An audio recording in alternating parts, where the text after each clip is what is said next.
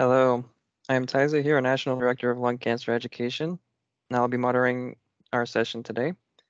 Welcome everyone to today's Lung Cancer Patient Meetup on the Go webinar on lung cancer scans, CT, PET, and MRIs. All you need to know. I would like to acknowledge our sponsor, Cleveland Clinic Florida, for supporting lung cancer education programs like our current session today. Today's session will feature Dr. Ian Drexler from the Cleveland Clinic. He will discuss the different types of lung cancer scans, when they are used, the role of scans in staging, and how doctors can determine uh, if you have lung cancer with the results. Dr. Drexler is a cardiothoracic radiologist at Cleveland Clinic, Florida's Weston Hospital. He completed his fellowship in cardiothoracic imaging at New York Presbyterian Hospital, Weill Cornell Medical Center where he also completed his combined radiology res residency training with Memorial Sloan Kettering Cancer Center. He obtained his medical degree from college from the College of Physicians and Surgeons at Columbia University, where he also received his MBA and BA in economics. Dr. Drexler is a member of the Society of Thoracic Radiology, North American Society for Cardiovascular Imaging, American College of Radiology, and American Roentgen Ray Society. He has multiple peer-reviewed publications, including on topics in cardiothoracic imaging. He is active in teaching of uh, medical students and involved in quality and patient safety efforts at the Cleveland Clinic, Florida. As we begin, please note that participants will be on mute. Participants may ask questions in the chat feature of the webinar platform. Uh, we will have a brief question and answer session at the end of uh, the session after Dr. Drexler's presentation. At this time, it is our honor and privilege to have Dr. Drexler speak. Dr. Drexler, the floor is yours. Thank you so much for that kind introduction. I'm Dr. Ian Drexler. I'm a cardiothoracic radiologist at the Lang Family Department of Imaging in Cleveland Clinic, Weston Hospital, which is about 20 minutes west of Fort Lauderdale in the greater Miami metropolitan area. It is really a privilege to be here speaking with you today on lung cancer scans. The first question I want to answer and the first thing I want to talk about is what is a radiologist? Because a lot of people actually don't know what we do. A radiologist is a medical doctor, and we are trained to read or interpret diagnostic imaging, including x-rays or radiographs, CTs, MRIs, and PET scans. Typically, we'll have at least 10 years of education and training from medical school into residency and fellowship. And we work closely with our colleagues in oncology, pathology, thoracic surgery, and radiation oncology in treating lung cancer patients. With that, I'll begin with an introduction to my talk. So why are we here today? Why do we talk about lung cancer and imaging? This graph shows that lung cancer is the third most common cause of cancer in the United States. And what this is showing, based off National Cancer Institute data from 2021, is the number of estimated cancers to be diagnosed in the United States each year. At number one is breast cancer with about 280,000 cases. Prostate cancer is number two with about a quarter million. And then a close third is lung cancer with about 235 cases diagnosed each year. Now, in spite of the fact that lung cancer is the third most common diagnosed cancer each year, it is by far the leading cause of cancer death. From the same National Cancer Institute data, we see that lung cancer deaths, deaths are as many as the next three most common causes of cancer deaths combined, the next three being colon, pancreatic, and breast, and that in a given year, they're estimated to be about 130,000 deaths due to lung cancer, whereas number two, for example, colon cancer is closer to 50,000 deaths. And this is why it's so important, and, and this is why we're talking about this. So types of lung cancer. If you're diagnosed with lung cancer, typically you'll have received a biopsy and a pathologist who is a doctor who is trained to look at cells under the microscope will be able to say what type of cancer you have. The most common by far is called non-small cell lung cancer, representing about 80 to 85% of all diagnosed lung cancers. And within non-small cell lung cancer, there are different types of cancers, including adenocarcinoma, squamous cell carcinoma, large cell carcinoma. At 10 to 15% of diagnosed cancers, there is small cell lung cancer. And then carcinoid tumors account for less than 5% of diagnosed cancers. There are some rarer types of cancer that can also come up, including lymphomas and sarcomas. In terms of major lung cancer risk factors, I think most people are aware that cigarette smoking is by far the number one risk factor for developing lung cancer. In addition, secondhand smoking exposure has been shown to increase your risk of lung cancer, as well as inhaling other carcinogens, including asbestos, uranium, or radon. Of course, there are other known lung cancer risk factors, for example, in some areas where there's a lot of pollution, uh, for example, there may be a higher risk of lung cancer due to inhaling that pollution. And there are some lung cancers, for example, that may be associated with certain genetics.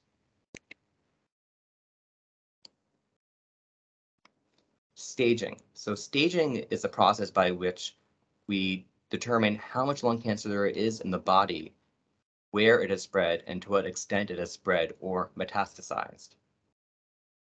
There's something called a clinical stage, which is based on a combination of physical examination, biopsy or tissue sampling results, and imaging, which I will discuss more at length in this talk.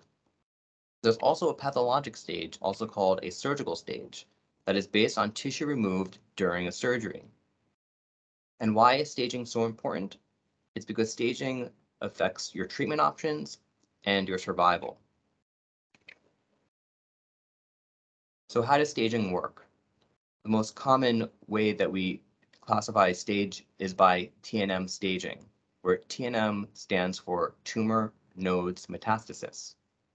T or tumor is primarily based on the size of the primary tumor, as well as additional factors including growth of the tumor into adjacent structures. N or nodes is determined by whether cancer has spread into adjacent lymph nodes. And a lymph node is an organ, there are many throughout the body, that is part of your immune system that helps fight off, for example, disease and infection. And cancer can spread along the lymphatic channels that drain and move around the, the lymph fluid to the lymph nodes. And M for metastasis. This is cancer that has spread to distant organs. So this is a picture of the chest. And just to orient you, on each side in this uh, pink is an image of a lung. And in the center, we have the heart. And this blue tubular structure would be the airway or trachea. So when determining T, the first thing we look at is how big is the tumor? Is it one, two, seven or more centimeters in size? And as it gets bigger, the, you get a higher T, starting at T1 going to T4. There are other factors that can determine a higher T, for example, if there are additional lung nodules that have spread in the same lung, or if the tumor itself has directly extended into the airways that go to your main airway or trachea, or if, for example, the tumor has directly extended into the chest wall or the pleura, which is the lining of your lungs. Talking about N, here in the center of this picture with the letter T is the primary tumor, if the tumor or metastasizes or really spreads to lymph nodes that are in the chest, you get either N1, N2, or N3 disease. So the further away it spreads to the lymph nodes in the chest, the higher the N is. And then finally, distant metastasis. If, for example, the tumor has spread and there are malignant cells within the pleural space that lines the lung, that is an example of metastatic spread. If it goes to other organs throughout the body, for example, your brain, liver, or bone, that is another example of distant metastasis. And so once we have all this information together, that determines staging, starting with stage one, going to stage four. And you see for the first few stages at the beginning, one and some of two, really we're just talking about tumor size. At this point, it has not spread to lymph nodes and it has not spread to distant parts of the body. As the stage increases, that's typically because the primary tumor has either gotten to a certain size or it has spread to lymph nodes in the chest. And then stage four cancer is when the cancer has spread or metastasized to distant parts of the body. And why, again, is this so important? Why do we do this staging? One, it determines the treatment options. For example, if you have an early stage cancer that might be more amenable to surgery or radiation treatment. But if you have a later stage cancer that is spread, for example, to the bones, you may need a more systemic therapy throughout the body, such as in the form of chemotherapy or immunotherapy. In addition to treatment, the stage can give you a prognosis of survival rates. Now, I want to start with a caveat that this is data from the American Cancer Society in 2017. And through research and innovation, honestly, every year, every month, every day, we're finding new treatments, new therapies for lung cancer. And these numbers, I imagine, are higher now than they even were in 2017. That being said, the trend is still the same. As you go within a stage from A1 to B, or as you go from a stage one to stage two to stage three to four, your long-term survival rate, and in this case is a five-year survival rate, decreases.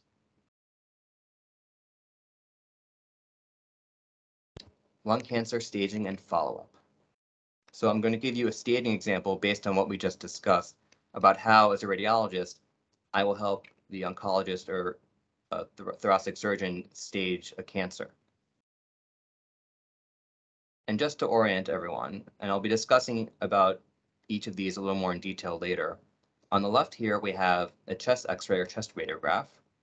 And just to make sure we all know what we're talking about, if we look on both sides here where we have black, that is the lung. The little white lines going through the lung are your vessels that supply and drain blood to the lung. In the center, we have this rounded object that is your heart. And then the very white parts are going to be bones. So you'll have ribs. In the center, we have our spine or backbone. And when radiologists look at imaging, left is right and right is left. So if you ever read a report and look at your images, and we're talking about something on this side, which to us is our left-hand side, but we say it's in the right lung, the reason is because when we look at images, things are flipped. So this is an X-ray that was obtained for a patient who was having chest pain. And the radiologist noted that there was an opacity or this white round object in the lung that shouldn't be there and recommended a chest CT. And here is the image from the chest CT showing better that object that turned out to be a cancer. So the patient for workup of the cancer had a PET CT.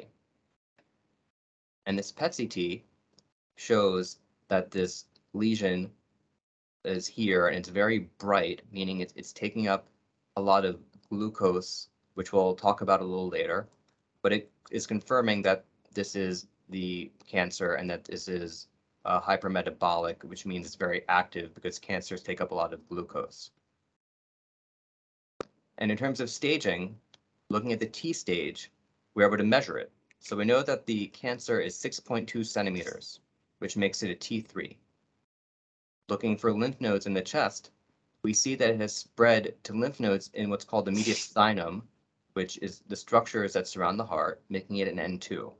And in this case, there were no distant metastases. So putting that all together, we have a T3, N2, M0 cancer, making it a stage 3B cancer. And based on that, based on this 2017 data, we know that the five-year survival rate for stage 3B is 26%. So let's talk about lung cancer detection on imaging.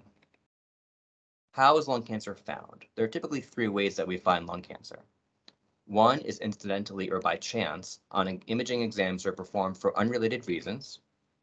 One is through annual low-dose lung cancer screening chest CTs, which I'll discuss a little more in depth in the next slide. And also during workup of symptomatic patients, for example, if someone comes in with a persistent cough or shortness of breath. And I just want to reiterate that although these are, are very nonspecific and do not necessarily mean you have cancer, any symptoms that you do have, especially persistent symptoms, should be brought to the attention of your physician to see if any further investigation is needed. So I want to talk briefly about low-dose lung cancer screening chest CTs, which it's not necessarily the topic of this uh, presentation. It's just so important that I wanted to talk a little more about it.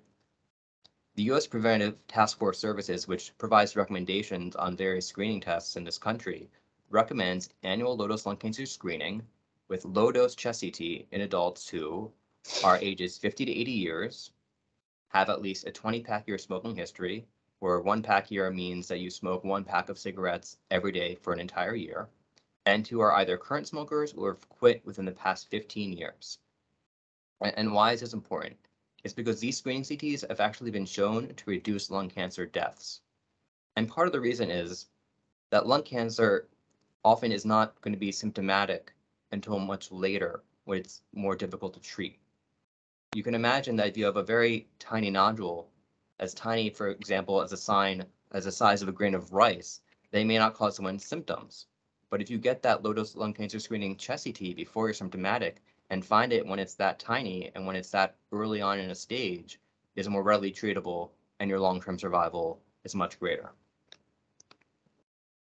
So this is an example of an incidental lung cancer found on a chest x-ray. This is a patient who was having colonoscopy and the anesthesiologist asked for a pre-procedural chest x-ray. And the radiologist noted there's a subtle round white object in the lung that shouldn't be there that they called a lung nodule and they recommended a chest CT. And this chest CT, we can see much more clearly that there is a nodule in the lung which ended up being a lung cancer that was found by chance in an asymptomatic patient. This is an example of what a low-dose lung cancer screening chest CT looks like. Even though it's a much lower dose than a regular chest CT, about a fifth of the normal dose, you can see lung nodules very well. And this is another asymptomatic patient who, because the patient had a smoking history that made them eligible for low-dose lung cancer screening, they received the CT and they were able to find this lung cancer early when it was very easily treatable. And then the last example is a patient had shortness of breath and went to their doctor for persistent shortness of breath. The doctor ordered an x-ray, which is typically one of the first type of imaging exams that will be ordered because it's cheap and readily available. And they found that there was an abnormality in the right lung. And a CT showed that there was a large lung cancer and some fluid surrounding the lung that likely caused the shortness of breath. And this patient was subsequently treated.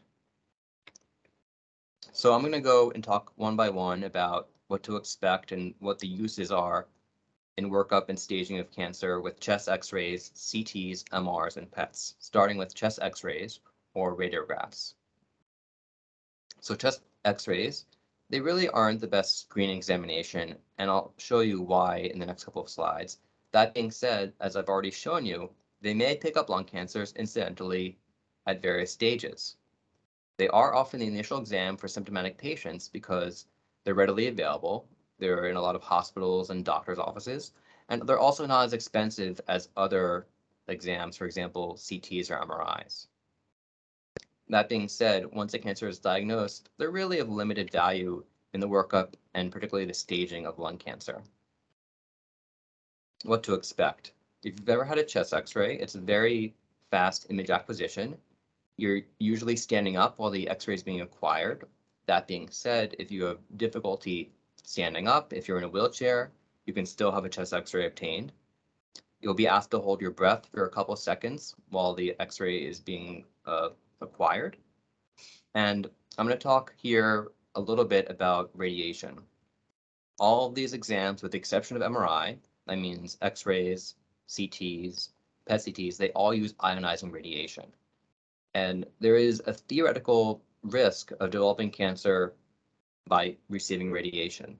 Now, everyone receives radiation uh, from background throughout the year. There's radiation that comes from outer space. There's radiation that comes from elements in the earth. And in the United States, the um, medical industry maybe contributes about half of the radiation dose that the average American receives, the other half coming from this background radiation. And again, when we think about the radiation risk from an X-ray, it, it's it's a tiny amount of radiation, and typically any effects that you might have from radiation uh, are more likely to happen if you receive radiation, for example, as a child rather than as an adult. And typically, when we're talking about lung cancer, this is something that's affecting adults, typically older adults. And we believe that any theoretical risk of developing a cancer as a result of CTs or PET CTs are much lower than the benefit that you actually obtain by diagnosing and following and treating a cancer. This is an example of a typical X-ray machine. Again, typically a chest X-ray, you'll be standing up, you'll be holding onto some bars. It'll take less than five seconds to acquire. Typically, you get two images, and you should be in and out pretty quickly. And this is why we don't love chest X-rays for detecting or following cancers. This is actually a study done back in the 1980s where they want to see if they can screen for cancer with chest X-ray. And you'll see here on the far right, there's this kind of ovoid, hazy white, round object, which ended up being a lung cancer. And this patient received chest x-rays every year for several years. And you notice as you go back that this little nodule or round spot was smaller and smaller. And it wasn't actually detected until the image on the far right, because there's a lot going on in these x-rays. There's, there's vessels and other spots that you see. And so a radiologist interpreting this wouldn't necessarily think that there's anything abnormal by this spot, which may be no different than any other spot in the lung until it gets to a certain size.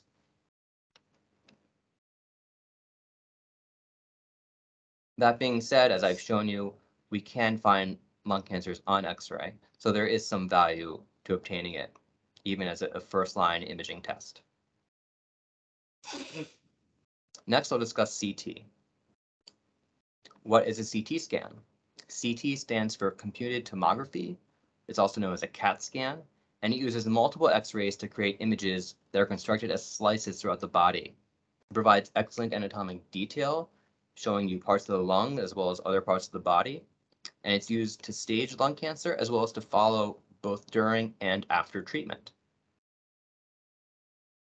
CT of the chest is actually the most common method to follow lung cancer treatments. And people may also need CT of other body parts, for example, your abdomen and your pelvis, to assess whether cancer has spread into the belly. And CT of the spine or brain may also be used depending on patient's symptoms, though as I'll discuss, for these body parts, MR is actually typically better. What is a CT exam like? It's again relatively quick, not as quick as an X-ray, but it should take less than one minute of actual scanning, typically about 10 to 20 seconds, in fact. Now, you may or may not have an IV or a needle placed to uh, inject with contrast or, or, dye, some people may know it as, the most common type being called Omnipaque. And you may or may not be asked to drink oral contrast, which is typically more reserved for patients who have CTs at the belly. Again, you'll be asked to hold your breath during the duration of the scan. It shouldn't be more than 10 to 20 seconds, but you can imagine just like if you're taking a photograph of someone and they're moving, things are blurry uh, when, when that happens. So you want to try to hold still. And again, you'll be laying flat on a table, which I'll, I'll show an image of in two slides. What are the risks? Again, there's this risk of a lifetime risk of developing an additional cancer by having that little bit of radiation. Uh, though again, in adults, particularly older adults, is really isn't something that we concern ourselves about.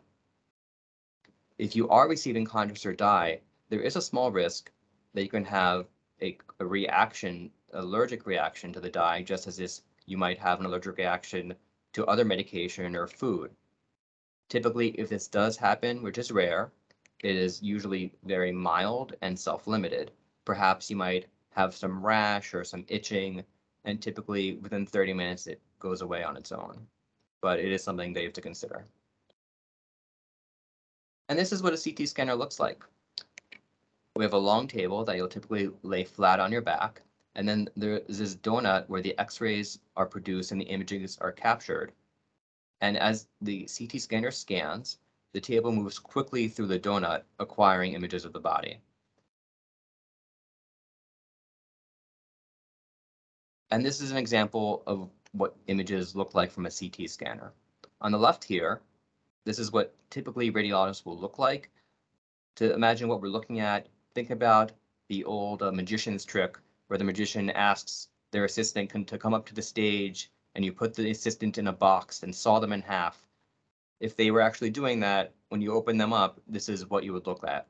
It, it looks like they potentially have a slice of your body. On the right, is just making a slice in a different way as if they sliced you while you were standing, for example. So this image shows what we call a nodule in this patient's right lung. It's a small little white circle. and this is an early lung cancer that was detected. And again, this is something before the patient would likely be symptomatic and likely also before it could be detected on chest x-ray. And that is why CT is such a powerful tool for detecting and following lung cancer. In addition, CT can show very well the spread of lung cancer to lymph nodes and to other organs. This CT shows an example of spread of cancer or metastasis to the bone. Here we have the backbone or what are called the thoracic vertebral bodies. And normally they're dark on this image, but you can see here at the bottom that it's very white. And this white is an example of the bone metastasis that the radiologist was able to detect with CT. We also use CT to follow lung cancer. On the left here, we have an example of this round white nodule on the patient's left lung. And the patient was treated with surgery, so it was removed in the operating room. And we're able to follow the CT with CT. And we see on the follow-up that the round nodule is no longer there, and that there's no evidence of any disease left. There's just a little bit of scarring the patient had from, from the surgery. This is another example of a patient with lung cancer. We see in this patient on this chest CT, this patient had this round nodular mass in their left lung. And instead of surgery, in this case, this patient was treated with radiation therapy and chemotherapy. And we can see on follow-up that this large nodule essentially has melted away and there's just some scarring left over. So these are both cases in which we're able to follow lung cancers and, and see that they've gone away with treatment. Next, I will discuss MRI. MRI stands for magnetic resonance imaging. And unlike CT and X-ray, MRI uses magnets and radio frequency waves to create images. Now, MRI is typically the best exam to look for spread or metastases to the brain, and is also excellent at looking at spread into the spine or backbone. MRI may also be used to evaluate potential metastases in other bones and certain organs, for example, in the liver or adrenal glands. Now, a lot of people wonder you know, if I don't get exposed to radiation from MRI, why can't I be screened with a chest MRI? Or why can't we use chest MRI to follow my lung cancer? And, the reason is that it really poorly assesses the lungs. You wouldn't be able to see a very small nodule on a chest MRI as well as you would with a CT. So it's really not a, a great examination. Though it is good for certain purposes in the chest, for example, to assess for spread of cancer to the bones or to the chest wall, or for invasion or metastatic spread to structures such as the heart and the surrounding area called the mediastinum. What is an MRI scan like? Unlike the X-ray and CT, there's a lot more time involved. They typically take about 30 to 60 minutes of scan time. And patients are most often given contrast through an IV or needle into their arm called gadolinium to help aid with detection of malignancy. Now, the MRI scanner is very loud. If you haven't been in one, it almost sounds like someone is either banging on the machine and you might hear some loud clicking noises. And so typically you'll be given some earplugs or headphones to help with that noise. And with MRI, just like most imaging studies, it's very important to hold still for long periods. You, you may or may not be asked to hold your breath for a short amount of time, but the most important thing is that you're not moving your body around. Are there risks to the MRI? The biggest problem is that you're in a very strong, large magnet. So when you're giving your when you're having an MRI, you're often asked to remove your clothing and to wear a hospital gown, robe, or socks. You should not put any jewelry on when you're going to get the MRI. In fact, it's best to leave it at home so you don't lose it. And for those of you who have implantable devices, for example, coronary stents, joint replacements, or other hardware, most of these are MRI safe, though there are some that are not. So before the MRI, either your doctor or the technologist are going to ask you questions about what is implanted in your body to make sure that you are safe to have the MRI. And even with devices that are safe, there is a small theoretical risk that devices can, for example, heat up, or maybe if you have an electronic device inside of you that could reset. But these are monitored very closely during the scan. This is what the MR scanner looks like. It looks pretty similar to the CT scanner, but you'll notice that the donut is much bigger and the hole in the donut is a little smaller than the CT. But again, it's a, it's a flat table that you're laying on as the images are being acquired.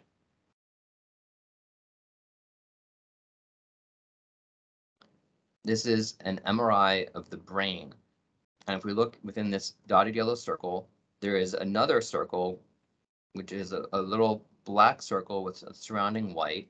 And this is exactly what a metastasis look like. So this is someone with lung cancer that has spread or metastasized to the brain. They were able to detect with the brain MRI. This is an MRI of someone's thoracic spine or their backbone. And the normal areas of bone are dark, but these very bright or white areas are the abnormal bone that show metastases from this patient's lung cancer. As mentioned, MRI may also aid in the detection of spread or metastases to other organs, for example, the liver. If we look at this image on the left, and to orient everyone, on the left side of the image is the patient's liver. This here in the center is the patient's stomach. And on the right-hand side of the screen is the patient's spleen. And this radiologist who was reading this noted that there are these subtle white circles in the liver. And to better evaluate it, they suggested to get an MRI. And this is the MRI.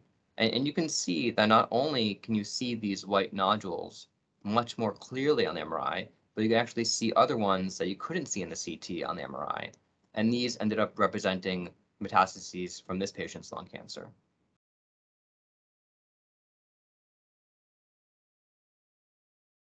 Next, I will discuss PET imaging for staging and follow-up of lung cancer. What is PET? PET stands for positron emission tomography. So unlike X-rays or CTs, where the X-ray is coming at you from a machine, in this case, you're actually injected with a radioactive drug or radio tracer called FDG through a little IV that typically goes into the arm. And this FDG has a structure that is actually similar to glucose or sugar. And why do we use this? So glucose or sugar is taken up by tumor cells at a much faster rate than it is taken up by normal cells in the body. So when you scan the patient after they are given this FDG, the tumor cells become bright or what we say hot on PET scans. And if you read your reports, you might see something that says that something is FDG avid or hypermetabolic. Other things, however, like infection, can also be bright or hot on PET. So it's important to note that just because you have something in your lung that does look bright on PET, that it does not mean that is 100% going to be a lung cancer. It could also, for example, be an infection such as a pneumonia. So what to expect with a PET scan? Most PET scans are combined with a low-dose CT. You will be asked to be on a certain diet for about 24 hours prior to the scan. Typically, this is a low carbohydrate diet. And you'll also often be asked not to have anything except for water for about six hours prior to the scan. You'll probably receive other instructions, for example, not to engage in strenuous exercise for 24 hours prior to the exam. And again, the reason for all of this is because we're giving you uh, something that mimics glucose. And if you're exercising, for example, we know that muscles require glucose. So when the radio tracer FDG is injected, we don't want it to go to the muscles that you've been using. We want it to find the cancer cells. So as mentioned, you will be injected through the IV with this radio tracer. Now, even though you have this radioactive element in your bloodstream, which will quickly leave in the urine, you'll, so you'll essentially pee it out within a few hours, you will not perceive anything abnormal about you. After the injection, you'll wait about 60 minutes, and it will take about 30 to 60 minutes to actually do the scanning. As usual, you must remain still during the image acquisition, but you will be able to freely breathe since this will be about a 30 to 60 minute scan. And I didn't include a picture of the PET scanner, but it looks very similar to a CT scanner. Again, with PET scans, there is additional radiation involved. And again, we strongly feel that this low theoretical risk of cancer from imaging is far away by the benefits of actually following and detecting cancer. So on the left, we have a CT scan that showed a lung nodule in a patient. And this is someone who was a smoker. If we look closely, and it may not project well on depending on your screen, these very dark black areas around the lung are actually emphysema, which is destruction of the lung that you get when you have been smoking. And a PET scan was recommended to evaluate this nodule. And on the right here, we see that it's very orange, almost looks like the sun. And that shows that it is taking up a lot of that glucose or FDG because it's very active. And this did end up being a lung cancer. This is how PET-CT is shown, is used to show response to a lung cancer after treatment. On the left here, we have the initial staging PET-CT. In this patient's left lung, we have a large lung cancer that is very bright, very orange. And we also see that when we look at the lymph nodes that are in the mediastinum, which is again the area that surrounds the heart, that we have a lymph node here that is a little bright. So this is someone who had lung cancer and an N2 uh, lymph node. A year after treatment, this patient had a PET-CT, and we can see that the cancer in the left lung is completely gone and that the lymph node is no longer bright. So this is a successful treatment of a lung cancer shown by PET. So before I ended, I wanted to actually talk about cost and insurance. And this is probably something I could spend an entire hour about talking in and of itself. In general, x-rays are cheaper than CT scans, which are cheaper than MRI and PET. Not to say that x-rays are cheap, but they're considerably cheaper than the other types of imaging. Now, you may have heard the terms copay and deductible. And depending on the insurance, every time you go either to see your doctor in the office for a checkup, or perhaps every time you get a CAT scan, you may have to pay a set amount of money, let's say $50 for each scan that you get. And so that would be a copay. A deductible is different in some insurance plans, every year the clock resets and before the insurance kicks in, you have to pay a certain amount of money out of pocket. So let's say, for example, you have to spend $500 out of pocket before insurance kicks in. That would be a $500 deductible. The other thing you may have heard of is prior authorization or pre-authorization. So for certain advanced imaging, particularly CT, MRI, and PET scans, you may need to get permission from the insurance company. And so this may involve the insurance company talking directly with your doctor and ensuring that this is the best test.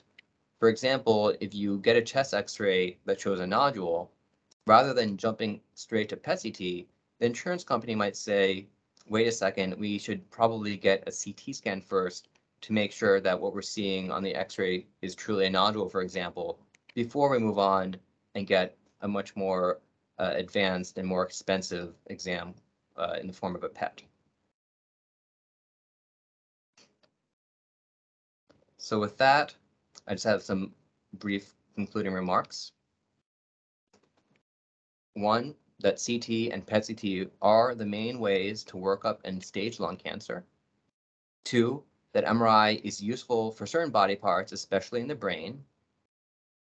Three, that chest x-rays are really of limited value in following lung cancer. And four, lung cancer screening chest CTs save lives. I thank you all for coming out today and taking the time to listen, and I'm happy to take uh, any questions. Thank you so much, Dr. Drexler, for an informative session. And um, we had quite a few questions that came in from the registration. Uh, participants can also ask questions in the chat. Um, we'll try to get to all the questions, uh, but if we run out of time, we'll follow up with uh, answers over email. Um, it does look like somebody has their hand risen. Uh, they might have to write their question in the chat, but um, for now we can move on to questions that came through the registration. Uh, so we can get started there. Uh, the first question uh, is, what are stages of lung cancer? Stage one, two, three, and four. And the second part of the question is, uh, stage four lung cancer is not a death, death, uh, death sentence, is it? Yeah, thank you for the question. Um, so this is something that I, I did touch upon uh, in the talk. I'll go back to the earlier slide.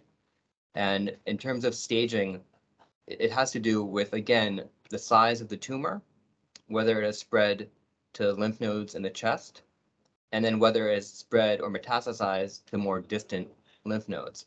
And the bigger the tumor, the further it has spread in the chest lymph nodes, and whether or not it has spread outside of the chest to distant organs such as the brain or the spine or the liver determines the stage.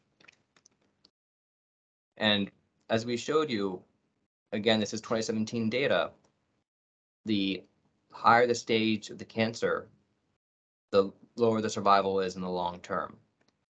Now, again, we have made many advances in medicine the past several years, specifically with immunotherapy. And no, stage four is not, quote, a death sentence. That being said, it's important, you know, to stay vigilant and to follow up with your physician and really see what options are out there so you're able to really be your best advocate and have the highest chances of survival. Thank you, Dr. Drexler, for that answer. Um, the next question that came in from the registration was uh, April 26, 2021, had a middle lobe of uh, right lung cancer removed, two clear CT scans since surgery. Other than pray, how do I stay cancer free? Um, thank you for that question. Well, first of all, congratulations on being cancer free for those clear CT scans.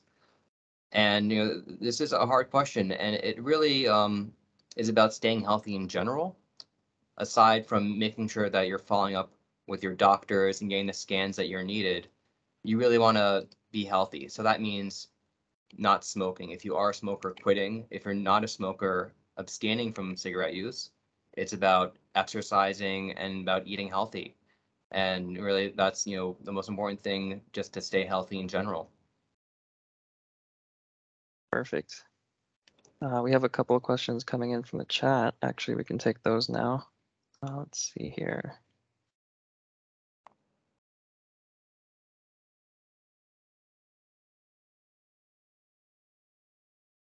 Okay, here we go. Robin is asking, what's the difference between non-small cell lung cancer and small cell lung cancer? And uh, what about the bone scans? Okay, now those are great questions. So, as I mentioned, when you get, uh, if someone gets diagnosed with cancer, typically you'll have had a piece of tissue sampled, and a pathologist will look at it under a microscope. And it, the, the simplest answer is that the non-small cell lung cancers under the microscope look bigger than the small cell lung cancers, uh, though they will behave differently. And for example, small cell lung cancer is almost exclusively seen in people who have a history of smoking uh, tobacco, whereas non-small cell lung cancer, uh, the correlation is not as strong. And they'll behave differently and they'll be receptive to different treatments.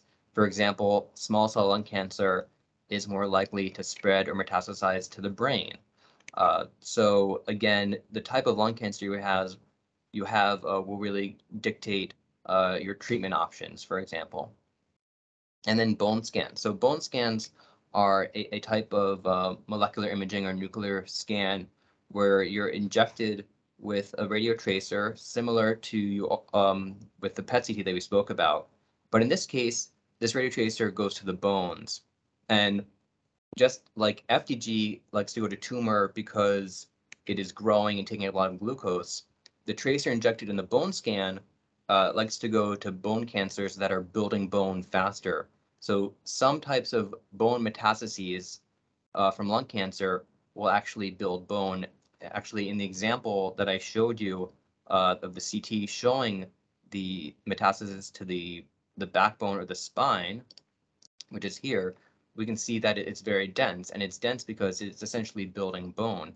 So in a bone scan, we'll be able to detect this because it'll appear hot or bright in the bone scan because this lesion right here is taking up that tracer that was injected faster than the normal adjacent bone. And so bone scan does play a very important role because bone scan, uh, depending on the situation, may be able to detect spread to bones that could be missed uh, on CT, for example, if something is, is very small or subtle. So I, I hope that answers your question. A very good explanation there. Um, a similar question followed up after that. Um, I think you may have answered it, but um, if you have any extra comments to this, uh, when is a bone scan used and why would it be used instead of a PT, PET? Right, so, so PET scan is really a scan of your whole body looking for tumor anywhere. So tumor in the lungs, uh, cancer that has spread to the lymph nodes, to other organs in your belly, for example, your liver or your adrenal glands, as well as to your bones. So the bone scan is very specific, looking at spread of cancer only to the bones, whereas PET scan will look at spread of cancer elsewhere. Uh, one or, or the other may be used depending on your symptoms or your stage, and they may also be used in conjunction together. Thank you for that. Yeah. Um, Jane also asks, um, I used to drink oral uh, contrast for ABCTs, uh, but they stopped doing it. Does this give the same ability to determine metastasis? Yeah, so so oral contrast um, you know, there is some debate about how useful it is, and, and this is contrast that you drink, and it, it goes throughout the bowel, and it makes the inside of the bowel look very bright. And in, in terms of looking for spread of lung cancer, it doesn't really add much of value. When we think of spread of lung cancer, we think of it going to bones, uh, to lymph nodes in the abdomen. It could go to the liver, to the adrenal glands. And whether or not you have oral contrast, it, it won't affect uh, the ability to detect spread to these organs. Uh, what may be more important when you have the scan of the abdomen is the intravenous contrast, because uh, that can help uh, highlight spread of cancer to certain areas uh, much better than if you did not have contrast. So I think the IV contrast is, is much more important than the oral contrast. So I, I wouldn't be too worried about not having oral contrast.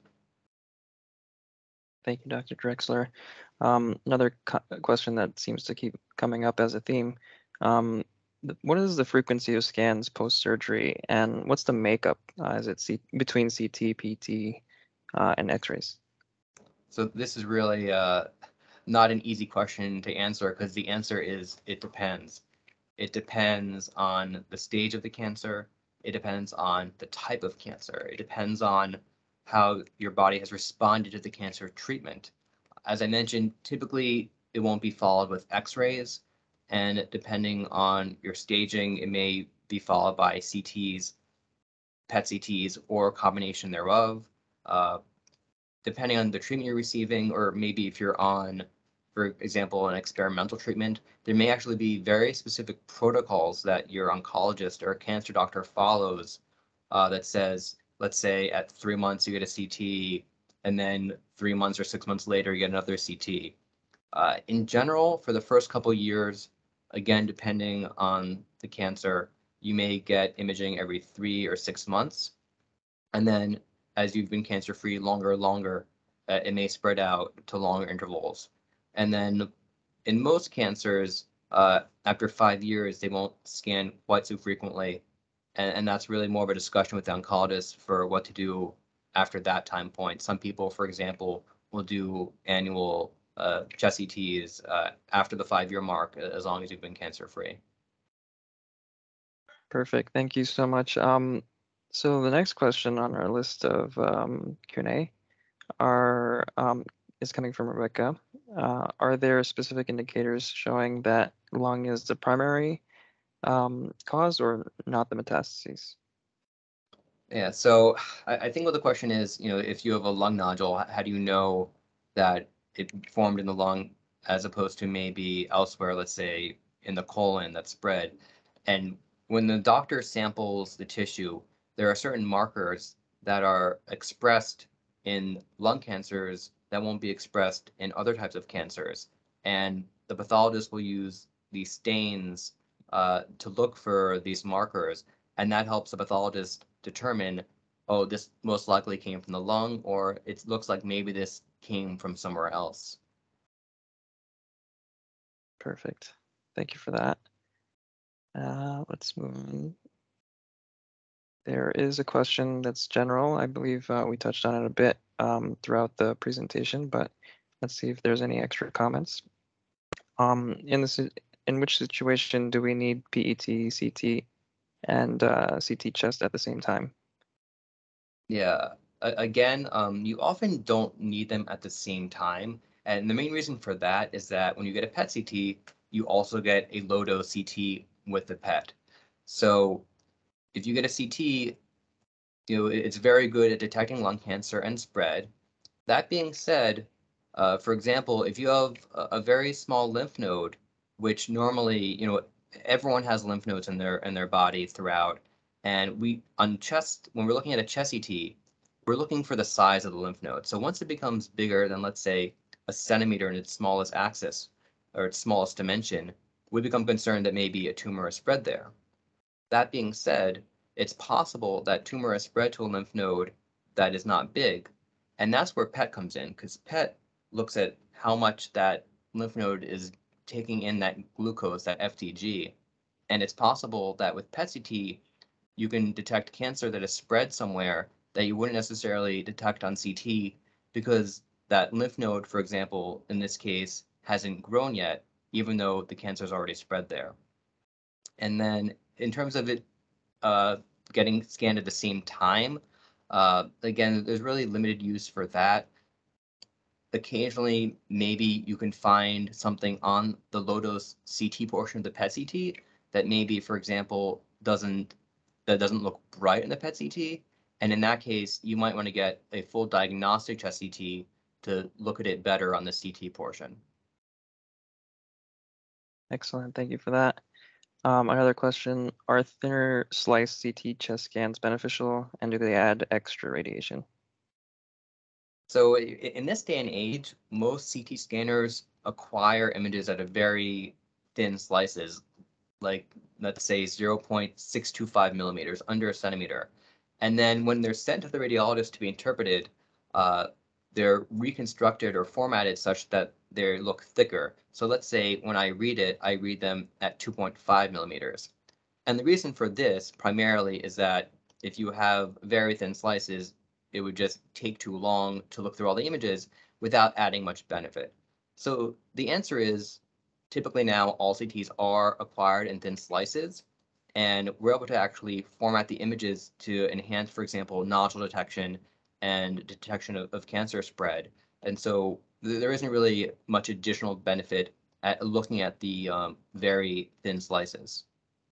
And to answer the question, no, it doesn't uh, give you additional radiation because when you get a CT, it is a single acquisition. And everything that happens after that one time the images are acquired is all done at a computer called post-processing. Perfect, thank you. Uh, just a couple, just a little bit more time for a few more questions. Uh, we we probably won't get to all of them, but we'll follow up. Um, one more question is, I had an MRI that indicated brain was okay. I was never told any info about my liver, never had a CT of abdominal or pelvic. Uh, should I, or should I get it? That again, i- i- it's a bit of a difficult question, uh, you know, for, for me to answer without knowing um, the type of cancer, uh, the stage. Uh, so it sounds like you had a brain MRI that was normal, but it's possible they didn't image your abdomen or, or pelvis. Um, I think this is probably a better question uh, for your oncologist uh, to ask, you know, why it wasn't scanned, whether they think that there is a, a reason to scan the belly. Uh, because if the cancer is localized in the lungs, for example, or regionally in the chest, there may not be a reason to look in the abdomen. So that, that, that's definitely a good question to ask uh, the oncologist, and that will provide a good uh, conversation to decide what's best. Perfect, thank you. I think uh, it may be time to start the wrap up. Um, Dr. Drexler, if you can advance the closing slides, that will Yep. close the meeting out for us. So if you have any additional questions about this webinar or this program, uh, please free, free, feel free to email me directly at timewarner.zahir@lung.org. Uh, go ahead into the next slide. Uh, our next session will be on Friday, May 20th at 1 p.m. Eastern Time, 10 a.m. Pacific Time. Um, it'll be on lung cancer surgical intervention options with Dr. Darren Rohan from Northwell Health. Uh, more information can be found at lung.org forward slash patient dash meetup. Uh, next slide there. And uh, so we have a bounty of lung cancer resources on the lung.org website. Uh, you can find general information on lung cancer screening on uh, savedbythescan.org. If you haven't already looked into it, we recommend that you try it out uh, and look into that. Uh, we also offer free mentorship programs uh, for lung cancer patients, uh, free online support communities. We also offer lung.org, um, the lung.org uh, helpline if you prefer to speak to someone directly. Um, more detailed information on lung cancer education can be found on lung.org forward slash lung dash cancer. Um, and we also provide COVID-19 resources. All of these re- resources are shown on this slide here. Um, so we'll have that up for just a split second longer so you can kind of get a screen grab. Um, we will provide all of this information to our registrants following the event along with the recording. Um, and in addition, we'll send feed, we'll send out a feedback form. Your feedback is important to us so that we can continue to improve the program. Um, with this being said, uh, we'll con- conclude our program for today. Uh, and thank you all for tuning in and have a great week. Take care. And thank you, Dr. Drexler, for your presentation. Thank you. Bye all.